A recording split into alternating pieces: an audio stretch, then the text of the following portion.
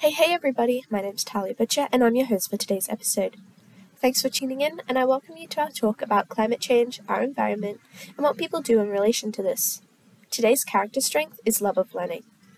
If you're new or returning to the podcast, I'm just saying, I hope you enjoy and learn something new.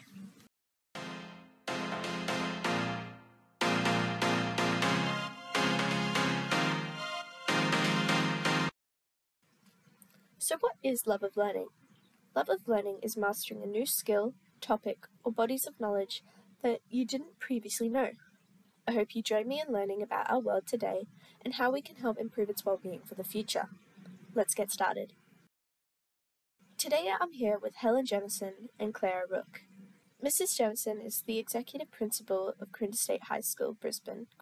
Claire O'Rourke is an author of a newly published book, Together We Can, Claire helps people and organizations take action on climate change.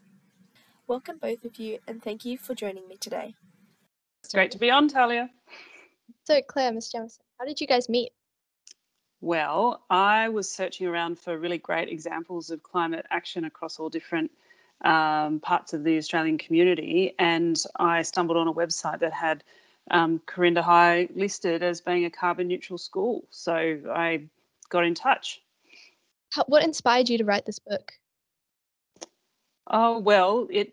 I've worked on climate change and for about climate change advocacy for about seven or eight years now. And I had my own personal climate freakout moment just um, after the Black Summer fires when we had to pack up our trailer and our house just south of Sydney. And it became very clear to me that even though I lived in a suburban area, that the direct impacts of climate fueled events were going to not only hit me very soon, but also um, hit my children and all the people and places I really know well and love well. I decided to be really intentional about kind of looking to be more hopeful and looking for more examples of progress on climate. And so I went looking. Uh, Ms. Jamieson, in Claire's book, she shares how Corinda State High School has a mission to be stewards towards the land. How does Corinda embrace this mission? Uh, this mission began well before my time. It's always been a statement that has been very much embraced here at Corinda, and I think it links back very nicely to uh, reconciliation and respecting the work of First Nations peoples and where we're situated here on the Oxley Creek.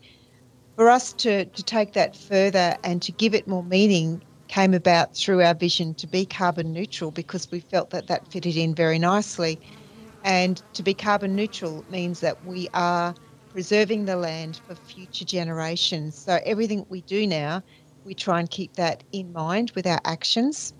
Everything we do in our actions, including our um, electricity consumption, how we manage our our waste and measure our waste, and whole of life products, when we purchase items, we consider what's the whole of life of that product, where it's originated from, and where it ends up after we've finished using it. Claire, what impresses you most about Corinda's action to actions to tackle climate change? I think the fundamental thing about the approach the school's taken is that it is around integration and integrating across all parts of the school, as Helen was just talking about. And I think that's what's quite interesting about what Corinda's been able to do is look at the system as a whole and then look at the the way that you can integrate the, the approach across the entire school. I was fascinated to read the in the book that schools together in Australia emit 2.2 million tonnes of carbon emissions in energy alone. That's sitting between BHP and Woolworths in carbon emissions. This is a huge problem, don't you think? Most certainly is, and this is why it needs to be at the forefront of our thinking and our education.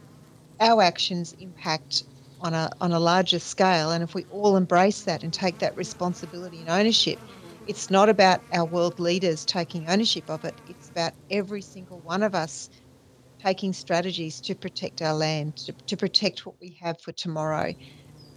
Claire, do you think that Corinda is a leading example for Australian schools to follow, and that what Miss Jamieson's done to support the school in the journey has like helped. I think schools are doing a lot of good work around the country, and Corinda's a brilliant example of that. You know, the whole school community piece does come in because, you know, if you've got a school community that's interested in, you know, accelerated climate action, and then that can help a school take its first step, it's quite clear given the decade that we're in and the kind of mission that we are on to try and stay within, you know, global average temperatures of 1.5 degrees. We've all got to think about what the next step is for us to take.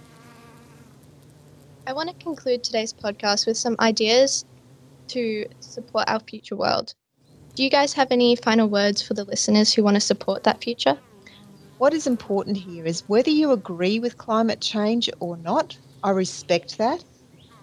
But I also respect our natural resources and the dilemmas we're going to be facing in the future around energy and having enough energy to to actually power our country. What we are doing here at Corinda is about preserving our natural resources and respecting our land. You really can't disagree with those actions no matter what, because this is about respecting our land and the, the finite resources that could face, you know, extinction if we don't preserve it.